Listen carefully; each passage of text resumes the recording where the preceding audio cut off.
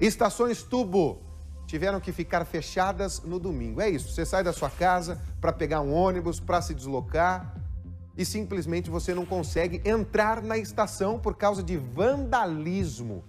É prejuízo e dificuldade para quem precisou usar o transporte público.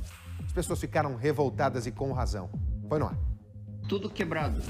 Cheguei a trabalhar aqui, validador no chão, esse vídeo foi gravado às 6 horas da manhã, quando o cobrador chegou para assumir o posto na estação Tubo José Bétega, no sentido Campo Comprido, no bairro Capão Raso.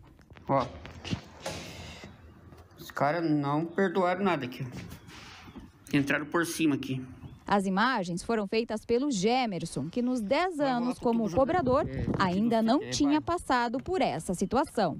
Totalmente de graça, porque não tem nada para levar aqui, né, de é só simplesmente uma estação tubo, né? Que as pessoas vêm pegar ônibus, não tem nada para levar de valor assim que que dê para vender, né? Assim, de, de, tão estranho. Mas a surpresa desagradável se repetiu no tubo do outro sentido da Avenida Winston Churchill. Nas duas estações tubo aconteceu da mesma forma.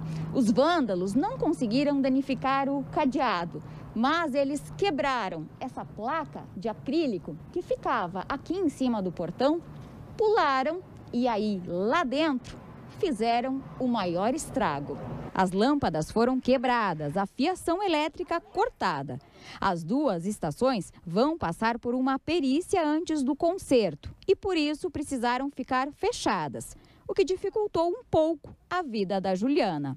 Vou ter que andar mais para pegar outro, porque esse aqui tava, não está funcionando, né? O vandalismo é um absurdo. Perto dali, no bairro Portão, os tubos da estação Carlos Ditt também foram alvo de vandalismo.